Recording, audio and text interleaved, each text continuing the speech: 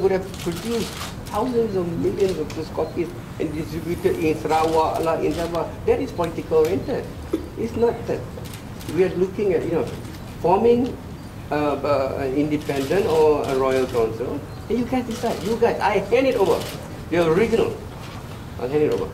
Datuk, maknanya Anwar ni, Datuk ni pun kapan dengan Anwar pada kita dan dalam video sekali. Maknanya Anwar ni sentiasa pergi ke hotel itulah.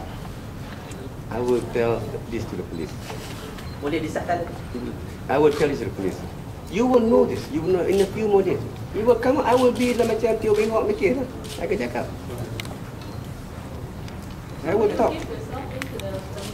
Not in. Why? Should, I've never done. I've not done anything wrong. Would you call a person who comes in with truth? Would you convict him? Would you convict him?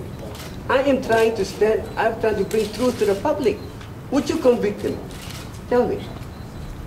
I'm the bro- whistleblower to tell you guys the truth, and people are slaughtering me. Tak apa lah. escape from being friends. Now you bring an enemy to Anwar.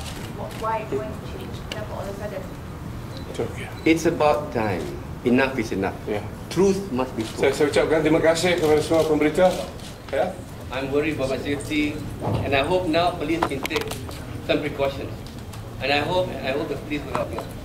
Now, now I'm asking the police.